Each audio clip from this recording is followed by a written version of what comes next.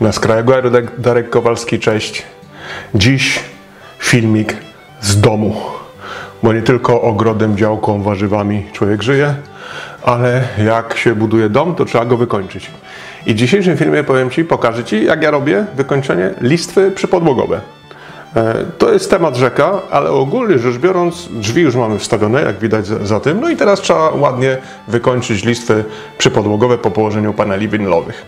I wydawałoby się to banalnie proste, a okazuje się, że całkiem sporo się przy tym męczyłem. Żeby dobrać listwy, żeby zobaczyć jak się je montuje, żeby dobrać narożniki, czyli takie uzupełniające elementy do listew. I w końcu, żeby zastanowić się i w ogóle połapać, jak, jakie listwy w jakim miejscu zastosować. E, I cały ten film będzie poświęcony o tym, jak zrobić listwy podłogowe do różnych zastosowań, czyli tam, gdzie łączą się panele winylowe i kafelki, tam, gdzie łączy się ściana e, z panelami winylowymi e, w łazience i tak dalej. A żeby Ci pokazać dokładnie, o czym będzie cały ten film, to przelecimy pokrótce z zakresem prac i z zakresem, gdzie jakie listwy zastosować, jakimi, przed jakimi problemami stanąłem. Być może będą to problemy dla niektórych banalne, dla mnie były one całkiem istotne. To przejdźmy i zobaczmy, gdzie, jakie listwy y, postanowiłem zastosować. Zacznijmy od początku. Ściana, czyli zwykła, jak widzisz, tu jest ościeżnica, kończy się od drzwi. I tu idzie zwykła ściana, tak, y, łączenie z panelami winylowymi. Tu są te dylatacje, które trzeba zakryć. No i tutaj nic specjalnego się nie dzieje, nic specjalnego nie zobaczymy. Jest to zwyczajnie kawałek ściany. Ale teraz mamy tutaj trochę inny kawałek, bo tutaj już są panele winylowe i w zasadzie też teoretycznie można by było tutaj przykleić ten sam, ten sam panel, te, te, tą samą listwę podłogową taką jak ta, ale te drzwi to są drzwi przesuwne, smart slidy, więc one chodzą w tą i w tą stronę. Więc tutaj nie da się zastosować takiej listwy e, jak ta, bo, bo ona fajnie by tu nawet Fajnie by tu nawet pasowała, o, idealnie.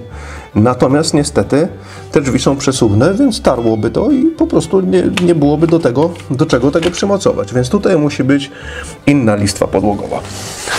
Idźmy dalej. Tutaj e, ta sama sytuacja. To okno przesuwne, to ono chodzi po tej całej listwie. Więc tutaj dokładnie ta sama sytuacja, dokładnie ta sama dylatacja, ona też musi być y, zrobiona y, inną listwą podłogową. Tutaj dalej mamy ściany, tak, i tutaj nic się specjalnego nie dzieje. Ale tutaj dla odmiany, ale tutaj dla odmiany mamy znów dokładnie tą samą sytuację. E, co tam, tyle że to okno jest nieprzesuwne. No ale tutaj wiercić się nie da, więc tutaj będziemy musieli tą listwę przykleić prawdopodobnie na taśmę dwustronną, tak żeby ona po całej długości okna doszła aż tam do ściany. E, idziemy dalej, bo tutaj mamy jeszcze do zrobienia, tutaj jest ten taki najmniejszy problem, który występował, ściany i no tu jak widzisz już część listew jest e, przykręcona, więc to fajnie wygląda. Tutaj będziemy mieli e, końcówki, ale przejdźmy do łazienki. Tutaj z kolei, tutaj z kolei, jak widać, jest połączenie paneli winylowych i kafelek. I tutaj też musi wejść odpowiednia listwa, żeby to zamoskować, a jednocześnie, żeby nie zawadzała, nie może wejść dalej niż dotąd, żeby nie zawadzała o, e, o drzwi. Także tutaj, tu jest całe szczęście, jak widać poziom jest równy, więc tutaj nie ma większego problemu. Tutaj taka listwa, e, którą będę pokazał, jak będę się zajmował każdym montażem, e, taka fajna, delikatnie półokrągła, delatacyjna, bardzo ładnie pasuje. Ale jest jeszcze jedno miejsce w domu, które wymaga, powiedziałbym, specjalnej troski. To jest kotłownia i tutaj mamy sytuację zgoła odmienną Zapalę światło, żeby cokolwiek było widać. I tutaj mamy sytuację zgoła odmienną, bo niby podobną, bo tu też jest kafelek, tu też jest panel podłogowy i w zasadzie można by było powiedzieć, że wszystko jest ok. Natomiast jak popatrzeć z bliska, to tu jest uskok. Ten uskok ma, jak widać, o, ten uskok ma wielkość palca, czyli około dwóch, y, około tutaj 2 cm.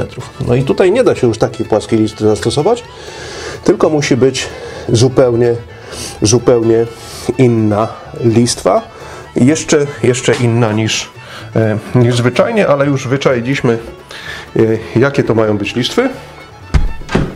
I teraz, e, I teraz Ci pokażę dokładnie, które to listwy, do czego wybraliśmy.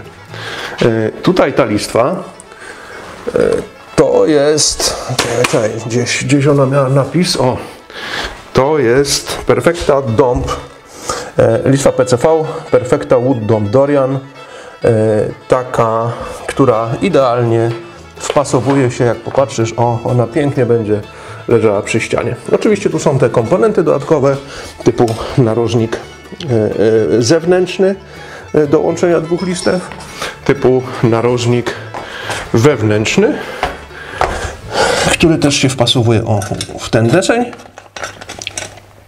O, też do łączenia dwóch listew. I tutaj wszędzie będzie ta listwa e, Dom Dorian, ta listwa PCV, którą, którą Ci przed chwilą pokazałem. A teraz co pójdzie do łazienki? Do łazienki pójdzie ta listwa. Jak popatrzysz, jest to listwa taka półokrągła, o, profilo, profil taki półokrągły i ona świetnie się powinna wpasować dokładnie tam y, w łazience, tam gdzie te kafelki są równe. Tak, fajna półokrągła, stanie na ziemi, przykryje część, jak popatrzysz, to tutaj jest ta część, y, która przykryje y, część kafelków, ta część doklei się do paneli winylowych i powinno to bardzo ładnie się sprawdzić. Natomiast pozostaje problem listwy tam, gdzie pozostaje problem tam, gdzie ta, jest ten uskok i tam będzie nam pasowała tam będzie nam pasowała taka listwa. O, to jest listwa e, z uskokiem. Ona jest E, ostrość całkiem płaska z tej strony, a z tej strony ma jakiś dwucentymetrowy uskok. Jeszcze nie wiem dokładnie jak ją zamontować, e, ale powinna spełnić zadanie e, w kotłowni, tam gdzie jest ten dwucentymetrowy uskok między, łazie, między kafelkami, a między panelami winylowymi. I teraz ten kawałek, o ten, pójdzie na panele winylowe, a ten wejdzie między kafelki, bo one są równo ucięte, więc prawdopodobnie będę to wklejał na klej mamut, ale to jeszcze zobaczę, jeszcze się zastanawiam. No i uwaga, dokładnie ta sama listwa, e, dokładnie ta sama listwa pójdzie tutaj, tak sobie to wymyśliłem, dokładnie ta sama listwa pójdzie, pójdzie, pójdzie tutaj do montażu przy oknie. O. I ona wtedy też będzie fajnie wklejona. E, tutaj, o, i dojdzie ładnie nam do tego. Co prawda będzie tu kawałek tego czarnego wystawał, no ale myślę, że to już jest akceptowalne i przynajmniej na razie nic innego nie wymyśliłem. I tak oto, i tak oto będą wyglądać, tak oto będą wyglądać te nasze e, tak oto będą wyglądać te nasze listwy. E, do łazienki jeszcze pójdą białe, te, które gdzieś tam widziałeś wcześniej, ale też je, też je dokładnie e, pokażę. E, no i teraz jeszcze kilka ważnych rzeczy. Jakie narzędzia? Możecie się zastanawiać, co jest do tego potrzebne. E, potrzebne jest do tego e, z takich głównych narzędzi, których będę używał, no to mamy, to mamy tutaj wiertarkę, tak, zwykła rzecz, szlifierkę kątową, czyli tak zwanego flexa, wiertła, wiertła do wiertarki z taką końcówką okrągłą, bo wiercić będziemy bezudarowo, bo tu, jest, tu są płyty, e, płyty, e, nie płyty, tylko bloczki e, cementowe, solbet, czyli gazobeton, w którym no, wierci się bez udaru. No i do robót precyzyjnych, takich jak na przykład do, do docięcia listwy przy samym rogu, będziemy używali multitula. No i jeszcze młotek i śrubokręt do wbijania kołków szybkiego montażu, czyli takich kołków które będziemy sobie wbijać e, mocując listwy. E, no i jeszcze wierteł do mocowania listew, bo jak patrzycie, to tak się składa, że ta listwa, o, ta listwa nie ma nawierconych dziur, więc trzeba te dziury e, od nowa nawiercać. No i teraz po kolei przejdziemy do tego, jak ja się za to zabieram, jaki sobie sposób wypracowałem, jak to, jak to robić tak, żeby było wygodnie. Więc jak ja to robię? Najpierw odmierzam, najpierw odmierzam sobie, e, bo oczywiście te listwy trzeba będzie docinać, więc najpierw odmierzam sobie na długość całą, całą listwę. na długość odtąd do samego końca ściany, do narożnika, tak żeby dokładnie wymierzyć sobie, przymierzyć, mieć gotowe te listy poskładane i bez żadnego montażu, bez niczego podocinane, tak jak powinny one wyglądać docelowo już na samym końcu. Później po tym wszystkim wyjmuję środek, wyjmuję ten środek, jak już mam wszystko ładnie podocinane, to wyjmuję ten środek, o, i tutaj e, w tej listwie nawiercam dziury, e, takie, które będę, e, w które będę wiercił dziury w ścianie. Potem przykładam tą listwę jeszcze raz. Tam już jak mam te dziury nawiercone, zaznaczam sobie czerwonym mazakiem, punktuję, dostając punkciki, w którym miejscu mam faktycznie wiercić. I jak już to wszystko jest powiercone, wtedy przykręcam listwy do końca i zakładam tą maskownicę, tak żeby uzyskać taki efekt, e, jaki zobaczysz na końcu. E, no to co? Trochę e, gadu gadu, to to jest mniej więcej tyle to to jest mniej więcej tyle, co trzeba, co trzeba wiedzieć w ramach przygotowań. A ja się teraz zabieram do pracy. Tu mam jeszcze o, taki przyrząd, który fajnie się podkłada pod kolana i wtedy nie bolą, nie bolą kolanka. No i co? I zabieramy się e, za przymiarki, zabieramy się za robotę. Zaczynamy. Zaczynamy. Zaczynamy od narożnika, bo najprościej założyć narożnik e, taki, o ten, który wcześniej pokazałem, najprościej założyć na gotową listwę, e, bo ona wtedy, bo wtedy jest wszystko ładnie i wygodnie. Jak on idzie, jak on tutaj wchodzi. To jest, to jest góra, to jest dół. O, dobra. Zakładam. Zakładam. Dokładnie sobie teraz, o, i ten narożnik już jest gotowy. Dokładnie łapię sobie ten narożnik za róg. Tu jest róg. E, nie wiem, czy to widać, ale o, pokażę. Pokażę do kamerki. O, tutaj łapię sobie za ten, łapię sobie dokładnie, o, za ten narożnik. Tutaj, tak żeby ta listwa dobrze dolegała w tym miejscu. No i później idę tam, na samym końcu odmierzam ile potrzeba, zaznaczam sobie długopisem i robię docinkę. Zaznaczamy ile potrzeba, tylko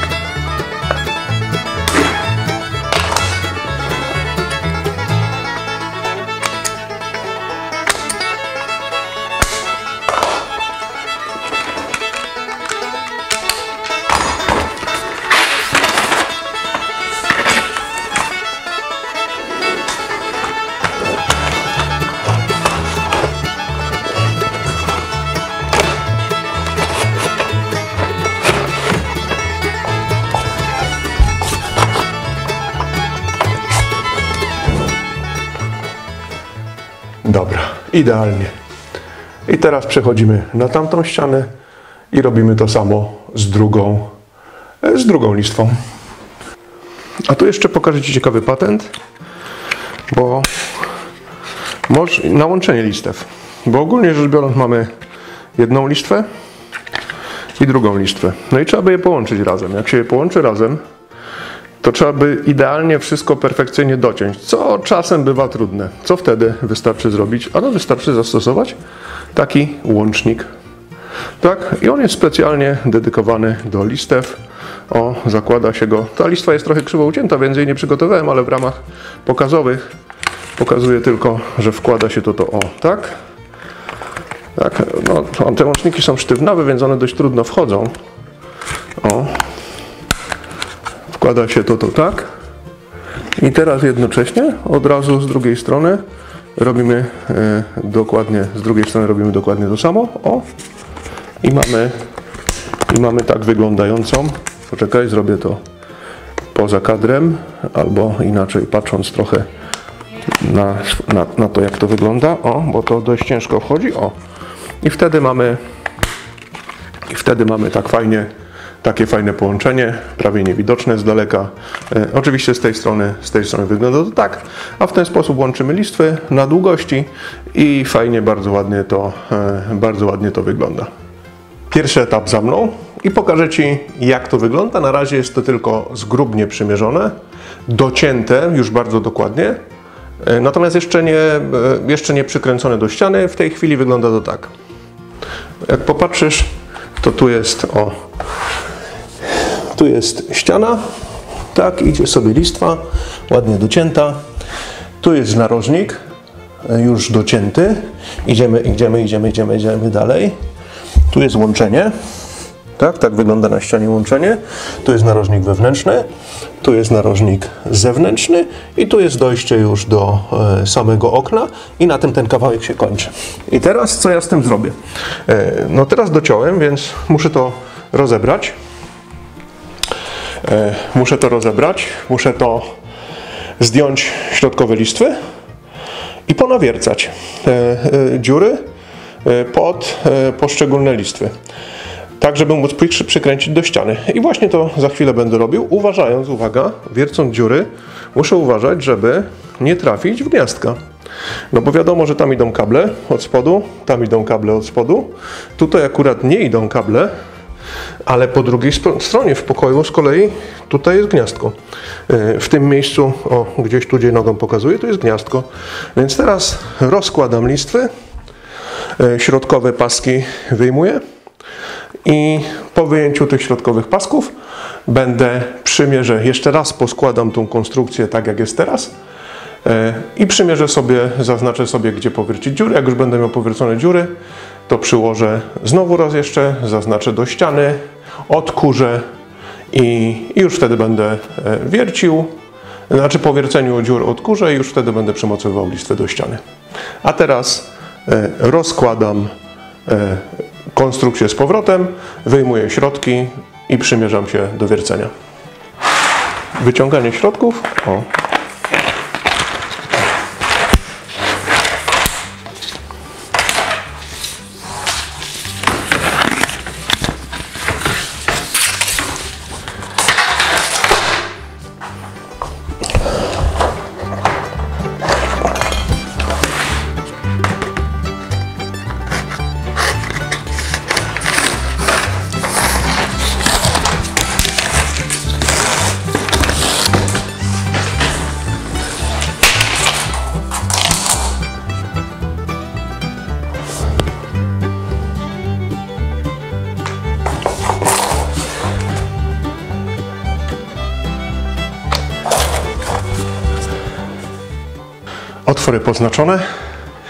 Teraz będziemy wiercić listwy.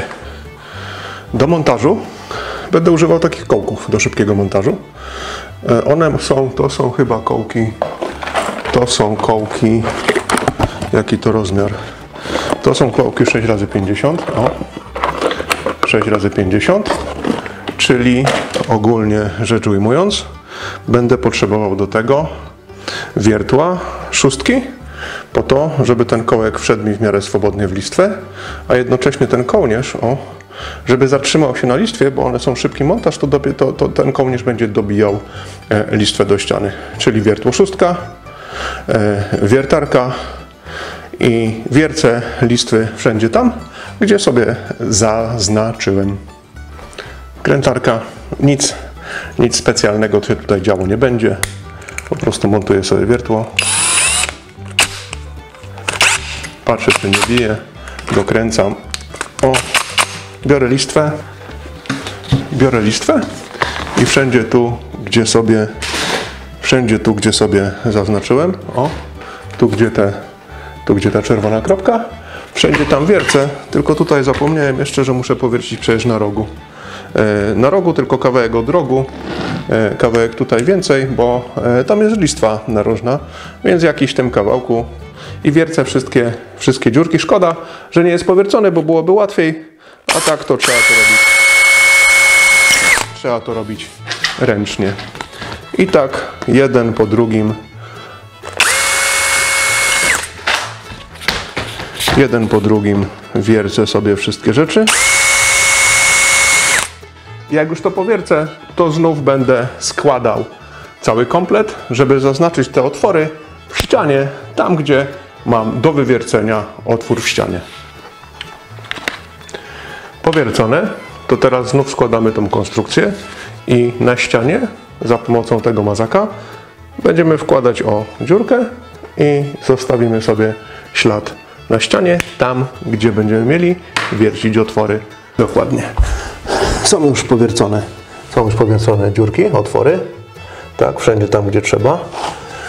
No i teraz cała sztuka polega na tym, że my sobie te otworki będziemy zaznaczali, tak? Tu o w ten sposób wciskając dostaniemy wszystkie miejsca, gdzie mamy później wiercić otwory.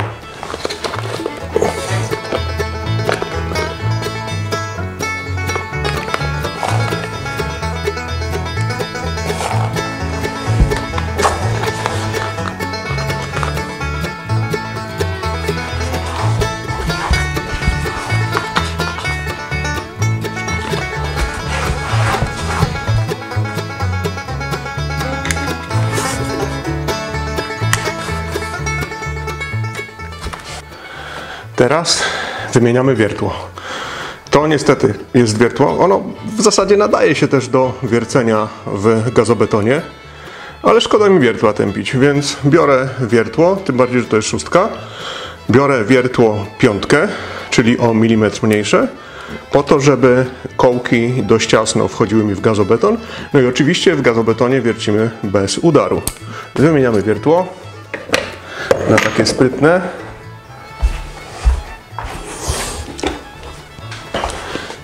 To komplet wierteł. Komplet wierteł i bierzemy sobie piąteczkę. O, piąteczka, taki fajny, fajny komplecik wierteł. Co charakterystyczne, one nie są LSD, tylko mają zwykłe mocowania e, na wiercarkę. E, I to zwykła widia, wiertło jak wiertło, nie ma się co e, specjalnie szczypać. Co ważne, ważne, żeby wkręcić na tyle, żeby wywiercić dziurę, żeby się zmieścił cały kołek. Tak, czyli, czyli ogólnie rzecz biorąc wiertło mocuję na tyle, żebym wiedział ok, żeby o, czy, czy starczy na długość kołka, o przepraszam, czy starczy na długość kołka, e, starczy, ale pod całą ścianę to jeszcze troszkę, to jeszcze troszkę je wyciągnę. O, i teraz powinno być Teraz powinno być ok. Wiercimy na, wiercimy na, na całe wiertło na szerokość kołka i wiercimy dziury w, e, w ścianie. Wszędzie tam, gdzie te dziury zostały, gdzie te otworki zostały naznaczone czerwonym kółkiem i wiercimy w te czerwone, czerwone punkty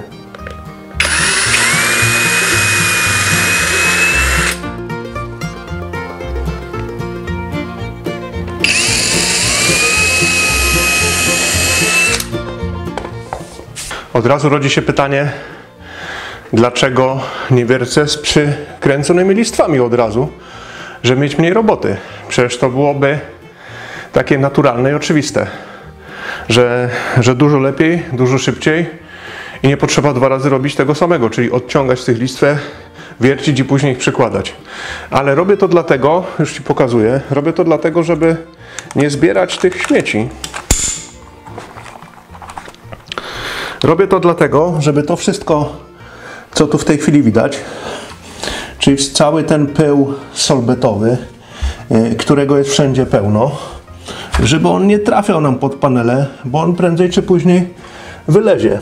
Dlatego teraz poodkurzam to ładnie, wszystko i jak ten pyłek zniknie, to dopiero wtedy przykręcimy sobie panele.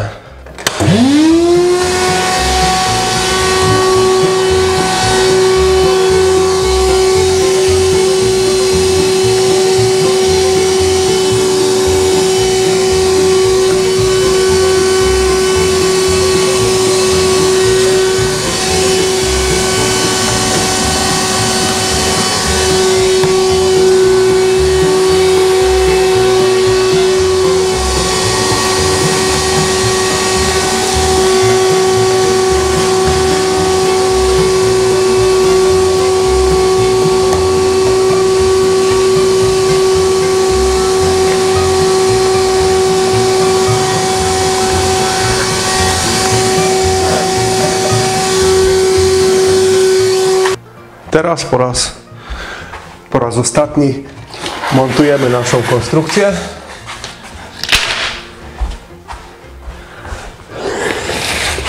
Tym razem już na stałe będziemy ją mocować do ściany.